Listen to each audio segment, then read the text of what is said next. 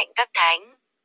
Ngày mùng 1 tháng 4 năm 2023 Trần Phước Elizabeth Van Remini Năm 1790 đến 1860 Cuộc đời của Trần Phước Elizabeth ta đã được hướng dẫn bởi câu phúc âm, tình yêu dứt, đã thúc giục chúng ta tiến bước. Cô Jin Tô Trương, năm câu 14, sinh ở Barcelona del Braca gần Treviso. Khi 27 tuổi Elizabeth ta từ chối lời cầu hôn và nhất quyết giúp người nghèo bớt đau khổ về thể xác cũng như tinh thần.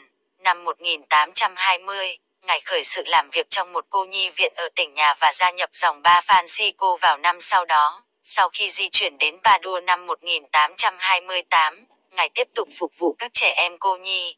Vào năm 1830, ngài thành lập tu hội các chị em dòng ba Francisco của Thánh Elizabeth hung gia lợi. Cho đến khi từ trần, Elizabeth ta đã hướng dẫn tu hội này trong việc giáo dục cũng như chăm sóc người già, trẻ mồ côi và người đau yếu.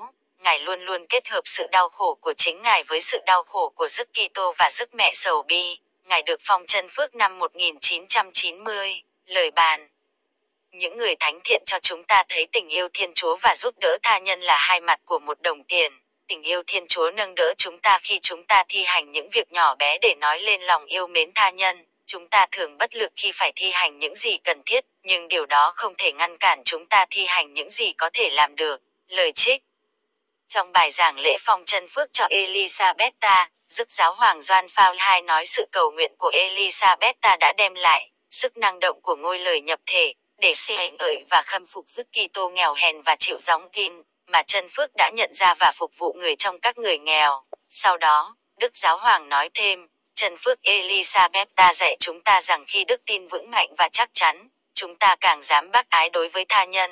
Khi sự nhận biết về đức Kitô càng sắc sảo, chúng ta càng cảm nhận được nhu cầu của anh chị em chúng ta một cách chính xác và đúng đắn.